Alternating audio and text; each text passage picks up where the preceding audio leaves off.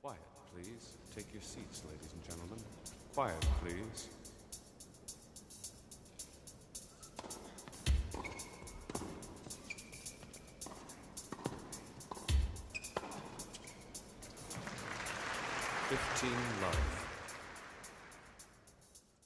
Hallo ihr Lieben, da bin ich wieder. Ich hoffe, ihr seid noch fit und gesund. Wer sich nach der ersten Folge gefragt hat, wo er einen solchen Ball herbekommen kann, ja, und wie man den in diesen Zeiten jetzt bestellt, kein Problem.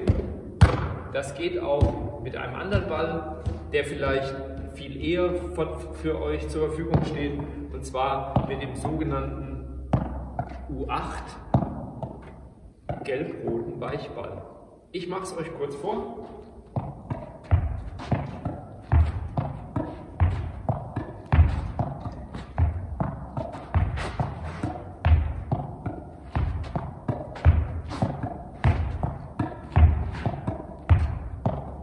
Ebenso natürlich für den Volley.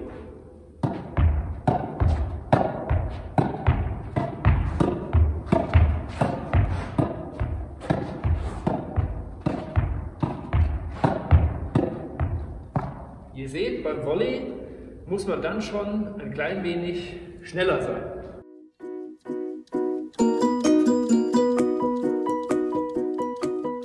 Ja, das geht jetzt schon ein bisschen schneller und hier brauche ich schon viel mehr Beinarbeit.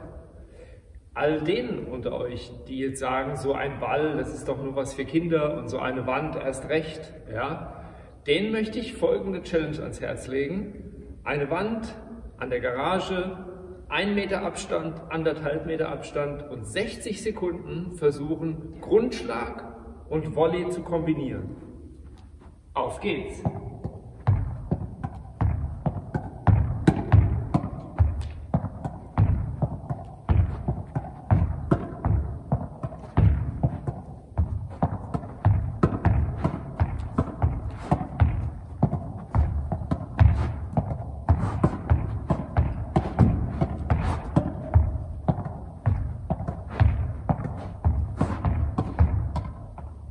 Das waren jetzt nur 20 Sekunden, aber ich bin mir sicher, Auge-Hand-Koordination, ganz wichtig, und die Beinarbeit, 60 Sekunden am Stück, da kommt jeder außer Atem. Dankeschön.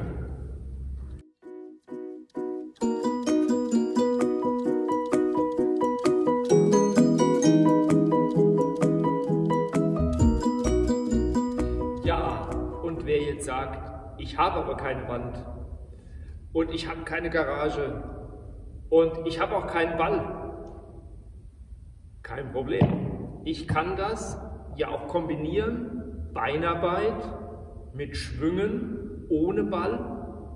Das könnte dann folgendermaßen aussehen.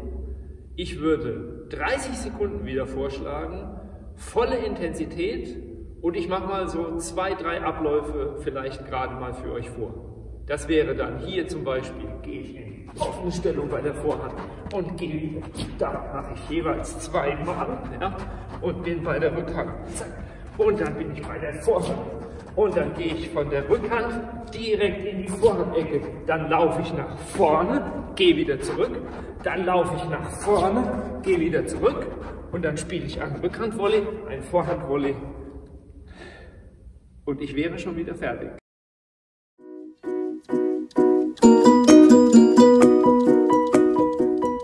Ich kann das natürlich auch wesentlich langsamer ausführen. Das heißt, mein Fokus wäre dann vielleicht mehr auf der Technik und meine Knie ganz tief unten, wie es vielleicht im Spiel sonst gar nicht der Fall ist. Ja. Ich werde versuchen, dann zu schauen, mache ich meinen Scheibenwischer richtig, ja, schaue ich auf die Uhr, ja. Das Ganze könnte dann so aussehen. Ja. Ich konzentriere mich ganz besonders auf die Vorhand, stelle mir das vor, in Zeitlupe diesen Schwung hinzubekommen, ja, habe bei der Rückhand dann nachher an der linken Hand die Uhr im Blick, ja, dann habe ich bei der Vorhand die Uhr hier vorne im Blick, dann bin ich hier wieder bei der Rückhand, ja, dann hole ich etwas weiter aus und drehe mich dafür etwas mehr, dann bin ich hier ganz weit hinten und springe um, dann gehe ich rückwärts, dann habe ich ein Volley, dann habe ich ein Rückhandvolley, dann achte ich immer drauf, dass zum Volley nach vorne meine Hand vorn ist, dass das so wichtig ist. Alles das kann man üben.